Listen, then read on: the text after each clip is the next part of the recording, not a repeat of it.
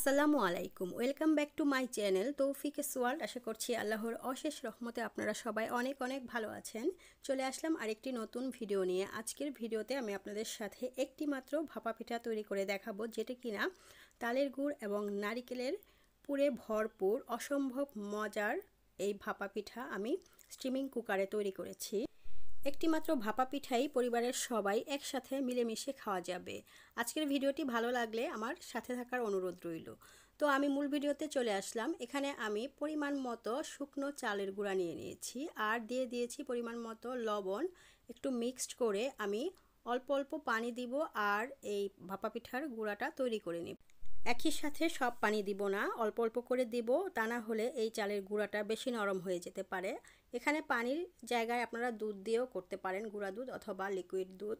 আমি কিছুদিন আগে আমার চ্যানেলে একটি ভাপা পিঠার ভিডিও দিয়েছি, সেখানে আমি কিন্তু কীভাবে চালের গুঁড়াটা করতে হয় সেটা দেখিয়েছি। আর দেখতেই পাচ্ছেন এক পর্যায়ে কিন্তু গুঁড়াটা রেডি হয়ে গেছে। মুষ্টি করলে একদম জমাট বাদে আবার ঝরঝরা হয়ে পড়ে যায়।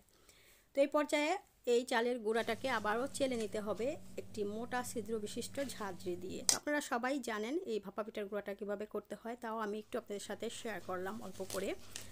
তো এভাবেই আমি গুঁড়াটাকে চেলে নিয়েছি, তো এক পর্যায়ে আমার গুঁড়াটা চালা শেষ হয়ে গিয়েছে। তো আজকের এই ভাপা পিঠাটা আমি তালের গুড় দিয়ে বানাবো। এই তালের গুড়টা বিভিন্ন বাজারে খুঁজলেই পরে পাওয়া যাবে। আজকের একটি মাত্র পিঠা আমি তালের গুড় আর নারিকেলের পুর তৈরি করে বানাবো। সেজন্য আমি এখানে একটি প্যান নিয়ে নিয়েছি আর গুড়টাকে আমি কেটে দিচ্ছি কারণ গুড়টা ফ্রিজে ছিল, তাই একটু শক্ত হয়ে আছে।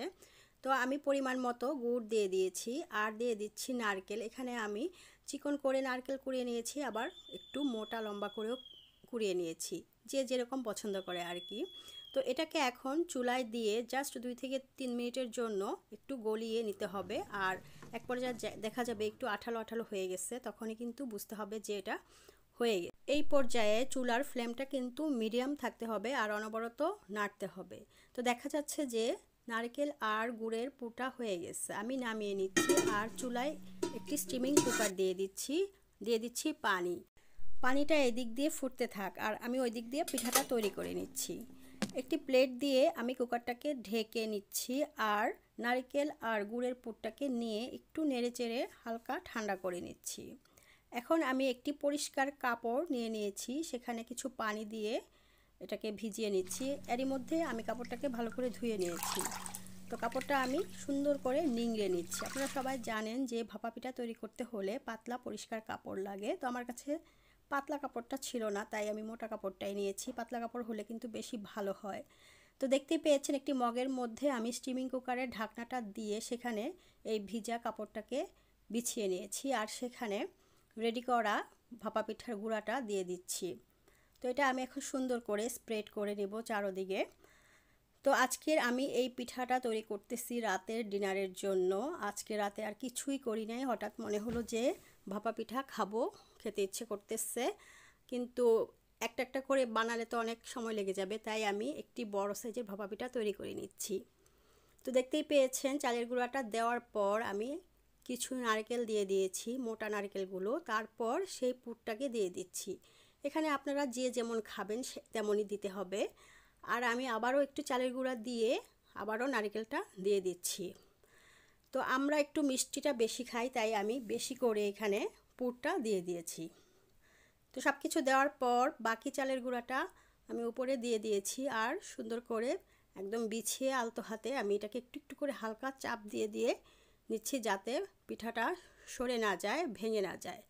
তো উপরে দেখার সৌন্দর্যের জন্য আমি আরেকটু নারিকেল দিয়ে দিয়েছি। তো দেখতেই পাচ্ছেন কতটা সুন্দর লাগতেছে। তো কাপড়টা আমি দিয়ে ঢেকে দিচ্ছি পিঠাটাকে। এবার এই পিঠাটা ভাপ দেওয়ার পালা। তো আমি রান্নাঘরে এসে উপরে প্লেটটা সরিয়ে নিয়েছি। প্রচণ্ড ভাপ, হাতে লাগলেই কিন্তু হাত পুড়ে যাবে। তো উপরের পানিটা আমি একটু মুছে খুবই সাবধানতার সাথে আমি পিঠাটাকে দিয়ে দিয়েছি যাতে করে ভেঙে না যায়। এবার আমি ঢাকনা দিয়ে কুকারটাকে ঢেকে দিলাম। এই ফাঁকে আমি আপনাদের সাথে একটি ট্রিক্স বলে দিচ্ছি, কারণ অনেকের বাসায় দেখা যাবে যে এরকম স্টিমিং কুকার থাকবে না। সেক্ষেত্রে সবার বাসায় কিন্তু প্লাস্টিকের অথবা স্টিলের এরকম স্টেইনার থাকে, আর সেটা দিয়ে কিন্তু অনায়াসে বড় করে পিঠা বানানো যায়। নিচে একটি হাঁড়ির মধ্যে পানি ভাপ দিয়ে এরকম স্ট্রেনারটা ওপরে বসিয়ে ঢেকে দিলেই কিন্তু সুন্দর বড় পিঠা বানিয়ে সবাই একসাথে খেতে পারেন। পাঁচ থেকে ছয় মিনিট পর আমি পিঠাটাকে নামাতে আসলাম। তো আমার মনে হচ্ছে পিঠাটা একটু বেশি হয়ে গিয়েছে। আরও আগে নামানো উচিত ছিল। একটু কেমন যেন বেশি সিদ্ধ সিদ্ধ মনে হচ্ছে আমার কাছে। যাই হোক, আমি পিঠাটাকে ধরে নিয়ে আসছি প্লেটটা সহ, নিচের যে প্লেটটা ছিল, তা না হলে ভেঙে যেতে পারে। তো আমি কাপড়টাকে সরিয়ে পিঠাটাকে দেখে নিচ্ছি। তো পিঠাটা অনেক গরম, হাতে ধরা যাচ্ছে না। আর আমি এটা এইভাবে প্লেটের মধ্যে দিয়ে উল্টিয়ে ফেলেছি, তা না হলে পিঠাটা ভেঙে যেতে পারতো। কাপড়টাকে আমি সরিয়ে নিচ্ছি, সরিয়ে আমি এখন এটা কেটে নিচ্ছি। আর আমার ছেলে পিঠা খাওয়ার জন্য আমার চারপাশে গুড় করতেছে, তো ওকে আমি প্রথমে একটি কেটে দিয়ে দিচ্ছি। আপনারা চাইলে এই পিঠাটাকে আরেকটি প্লেট দিয়ে কিন্তু উল্টিয়ে নিতে পারতেন। তো আমার ছেলেকে আগে দিতে হবে, সেজন্য আমি একটা পিঠা দিয়ে নিয়েছি, আর উল্টানোর সময় আমার নেই। তো উল্টিয়ে নিলে কিন্তু সোজা পাশটা আরও অনেক সুন্দর দেখা যেত। তো দেখতেই পাচ্ছেন পিঠার ভিতরটা কতটা সুন্দর লাগতেছে পুরে ভরপুর একদম। দেখলেই মনে হয় যেন খেতে ইচ্ছে ইচ্ছে করে। তাই আমি ফাঁকিবাজি করে এই অসম্ভব মজার তালের গুড়ের ফাঁকিবাজি ভাপা পিঠাটা তৈরি করে নিলাম। আপনারা বাসায় অবশ্যই ট্রাই করবেন আর আমাকে কমেন্টস করে জানাবেন কেমন হলো আজকের ভিডিওটি। এর মধ্যে কিন্তু পিঠা শেষ হয়ে গিয়েছে আর আমি ভিডিওর শেষ পর্যায়ে চলে আসছি। আপনারা ভালো থাকবেন। আল্লাহ